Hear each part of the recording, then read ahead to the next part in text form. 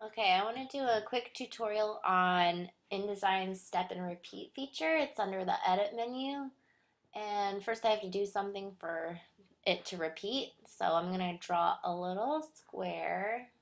Say you want to create a pattern out of squares. And um, fill it with a color. Let's see. Pink. I like pink.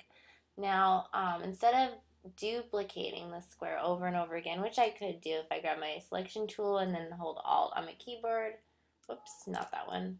Um, and just drag and make copies like so.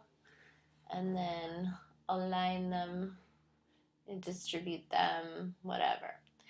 Um, that's one way to do it. However, there's a faster way. So let me go back in time to my one square and then go to edit step and repeat. Where are you?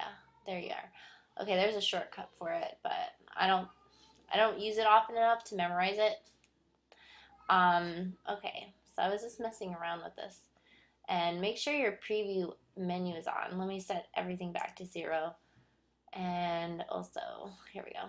So there's a create a grid option, which um, is pretty cool. So right now I have one count you know, you can duplicate the square as many times as you want. So I hit preview.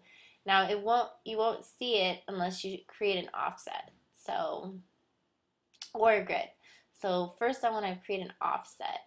So I'm offsetting the five squares vertically. You can also offset them horizontally like so. Um, let's see, five and five inches. You can also create a grid so you can have more than one column, etc., etc.